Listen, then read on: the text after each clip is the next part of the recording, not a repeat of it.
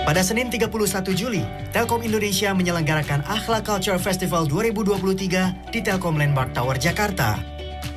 Acara ini digelar untuk merayakan tiga tahun penerapan filsafat budaya kerja badan usaha milik negara yang dinamai Akhlak.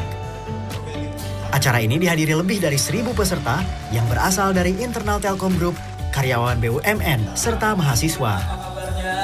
Nah ini kesempatan bagi setiap unit baik itu di dalam Telkom maupun di anak perusahaan untuk mengaktualkan apa yang sudah mereka jalankan dan juga kesempatan untuk sharing antara para unit mana saja yang, yang berhasil dilakukan di tempat lain jadi kopi di tempat lainnya. Acara yang digelar di dua tempat dalam satu hari ini meliputi pameran hingga lomba. Selain itu, penghargaan The Best Akhlak Implementation juga diberikan untuk pelaksanaan nilai akhlak terbaik di tempat kerja.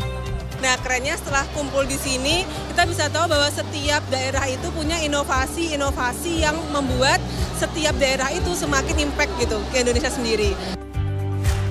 Dalam Akhlak Culture Festival Telkom Group 2023 juga dilaksanakan pembacaan komitmen pengimplementasian core values akhlak bersama seluruh undangan dan peserta. Sebagai panduan Dalam konteks BUMN, ini BUMN ini spektrumnya luas sekali. Ada yang besar, ada yang menengah, ada yang kecil. Nah, semuanya memiliki uh, tantangan yang berbeda-beda. Ya, progresnya berbeda-beda.